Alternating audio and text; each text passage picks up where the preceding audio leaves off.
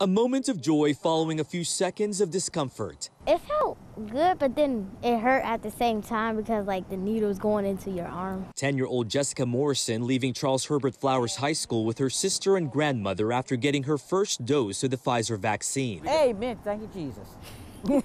so I'm so happy for them. This is the first night in a series of mobile vaccine clinics across Prince George's County. These roving clinics will travel to 37 elementary schools and 15 high schools through mid-December. He was a trooper the whole time. Now that children five years and older can get the shot, parents have been looking to quickly snag an appointment. He has wanted to get the shot. He's been asking, Mommy, when am I going to get the shot? I, had, I didn't have to convince him. Across the DMV, demand has been high. Had to be about 50 people ahead of me. A father sending this video of long lines at one vaccination clinic in Montgomery County despite reserving a spot. In some places, supply is limited, as DC Mayor Muriel Bowser pointed out in a tweet. Pediatric Association Associates of Montgomery County saying it ran out of stock and can't accept appointments for now. Fairfax Pediatric Associates reporting it could only book vaccine appointments for existing patients as providers wait for more doses to come in. Thank you. Families like the Morrisons are stepping out with a sigh of relief. Matthew Torres, WUSA 9.